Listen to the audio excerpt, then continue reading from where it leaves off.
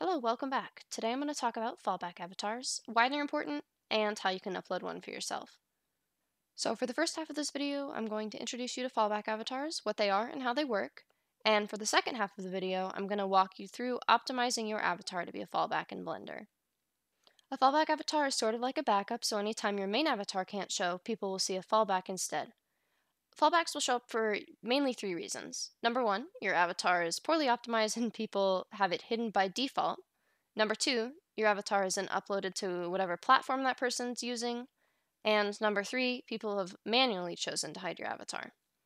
If you don't upload your own fallback avatar, other people will see a default fallback avatar instead. In order for you to upload an avatar as a fallback, it has to be compatible on both PC and Quest or Android, and it has to be rated good or better.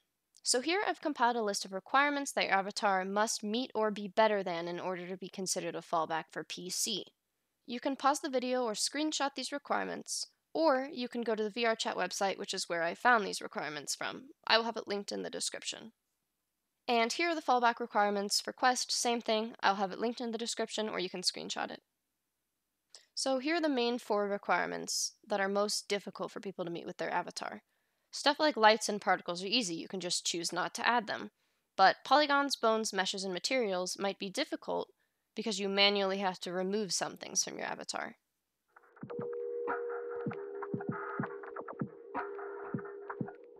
If your avatar already meets all of the requirements necessary to be a fallback avatar, then you can skip this section of the video where I'll be in Blender walking you through how to make your avatar meet the requirements. For now though, I'm going to be using my avatar as an example to show you how to turn your avatar into a fallback avatar. To follow this part of the tutorial, you're going to need three things. Number one, your avatar as well as its materials. Number two, a Blender installation. And number three, CATS Blender plugin. CATS Blender plugin is a free resource that's going to allow us to optimize our material a lot quicker than we would be able to otherwise. You are able to make a fallback avatar without using Cats, as well as avatars in general. However, for this tutorial I will be using CATS Blender plugin.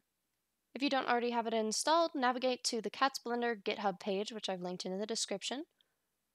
On the GitHub page, find the latest release, scroll down, and download the zip file. Now inside of Blender, we have to finish installing the add-on.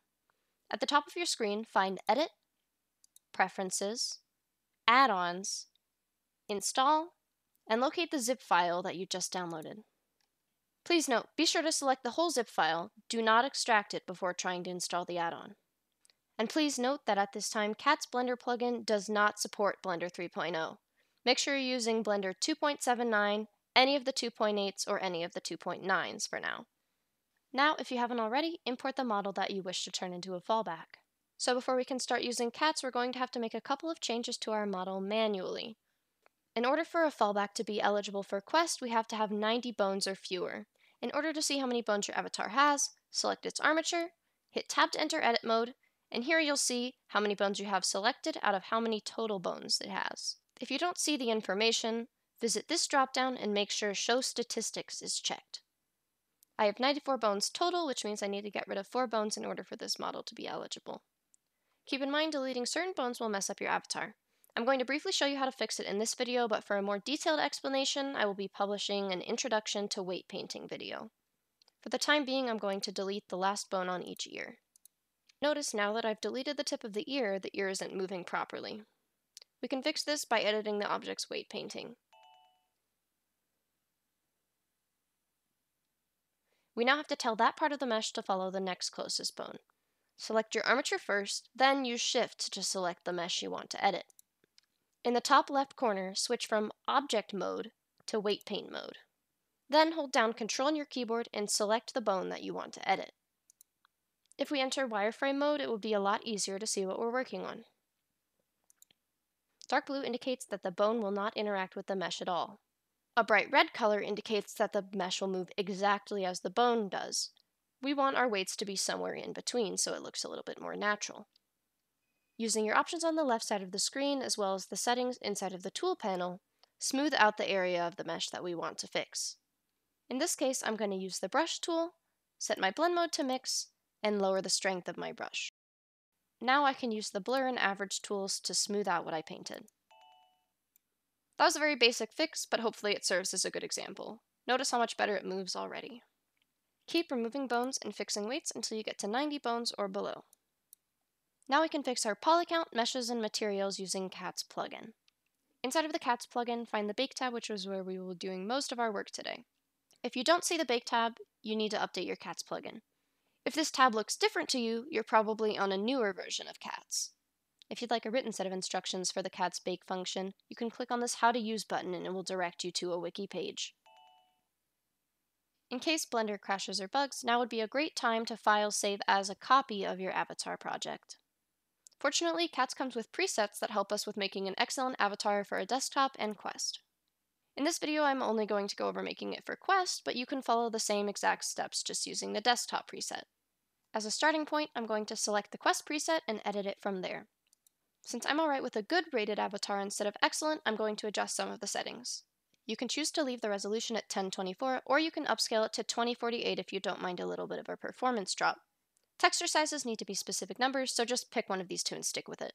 Now I'm going to slightly raise our polygon count from 7500 to 10,000. Normally, Decimate would destroy the look of your model and make it super chunky and blocky. However, CATS creates a normal map for us, which will help smooth out some of the rough edges. At the time of recording this video, there's a bug with the prioritize head slash eyes function, so let's uncheck that for now. Finally, the last setting that we need to change depends on your model. You may have to try rebaking a couple of times if it doesn't turn out the way you want it to. This setting is the method that CATS will use to reorganize your UVs. Try all of the different options to see what works best for you.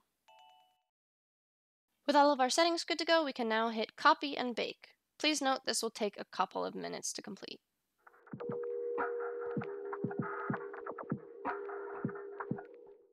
Now that CATS Bake is done, you'll notice we have a second model. Although they look very similar, our original model has over 70,000 polygons, where our new model has just 10,000. Other than a couple of issues, our model is nearly identical. The first thing that I notice is that the eyebrows are slightly clipping into the face, so I can enter edit mode to easily fix this. There are also some clipping issues on the lower back that can be fixed in the same way. If you do make any changes to the mesh, such as how I just did with the eyebrows, you will need to manually export your model here. When you bake a model using CATS, it will automatically export it as you'll see later in this video. However, this doesn't save any changes that you make to the mesh. If you haven't changed the mesh at all, you can skip this step and just use the automatically exported version. The remaining issues come from textures. We can easily fix these inside of the Texture Paint tab. Square and chunky issues like this are the result of errors with normals. Since painting on our texture looks pretty confusing, I'm going to paint directly on the model instead. Before painting, make sure to set your blend mode to add and the strength all the way up to 1. Doing this causes you to completely override any errors instead of just translucently painting on top of it. Also make sure that you color pick the purple from the background so we're resetting normals back to their original values as represented by the purple color. Now we can start painting and you'll immediately notice that our model starts to look better.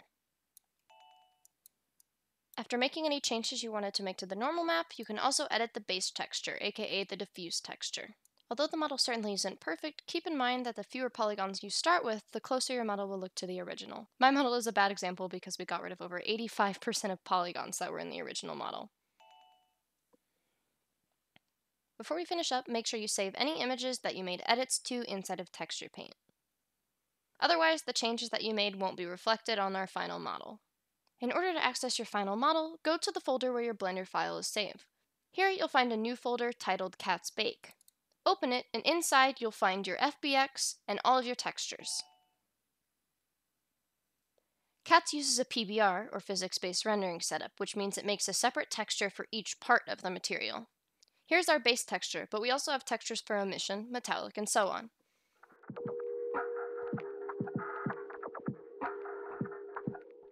Now inside of Unity, we can import and set up the avatar as normal. I'm not going to go over the avatar setup process, however, I will show you where to put each of the textures that I talked about earlier. So as promised, I am going to show you how to set up the material for your fallback avatar.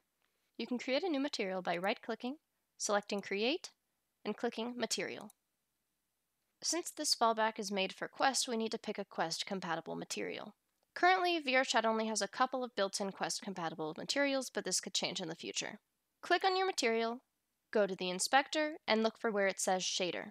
The Quest compatible shaders are found inside of the VRChat SDK. I can select VRChat and then mobile for an option of all of the Quest compatible shaders. If your avatar has a normal map, you have to either use Standard Lite, Bump Diffuse, or Bump Map Specular. If your avatar has emission, your only option is Standard Lite. Otherwise, you can use Toonlit, Diffuse, Matcap Lit, or any of the other options I mentioned for your shader. Since my avatar has emission, I'm going to be using Standard Lite. Now we simply have to drag the textures into their appropriate slots to finish setting up our material. If you have an emissive map, make sure Enable Emission is checked.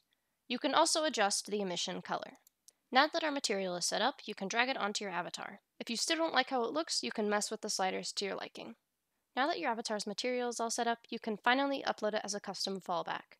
Keep in mind, for a Quest fallback, you'll have to be on the Android platform while uploading. For a PC fallback, you'll have to be on the Windows platform while uploading. If you have no idea what I just said, then I would suggest checking out a basic tutorial on how to upload an avatar first. That will come in handy. Moving on, open up the VRChat SDK control panel and sign in. Make sure your fallback avatar is selected, and then click Build and Publish for Android, or Windows if you're uploading to Windows first. Once it's done processing, you'll be asked to enter a name, description, and settings for your avatar. After filling out the information that applies to you, check Use for Fallback under the Cross Platform section. Finally, agree to the confirmation statement and hit Upload. Once your upload is complete and you've repeated all the steps for both PC and Quest, your fallback is ready to be used and seen inside of VRChat. Thank you so much for taking the time out of your day to watch my tutorial, and I really hope I was able to help you solve some of your issues with fallback avatars. If you have any questions or suggestions, as per usual, please do leave a comment. I do answer all of them. Oh, and also, I made a TikTok that advertises my particles and posts some funny videos if you'd care to check it out. Otherwise, I hope you have an amazing rest of your day, and until next time, signing off.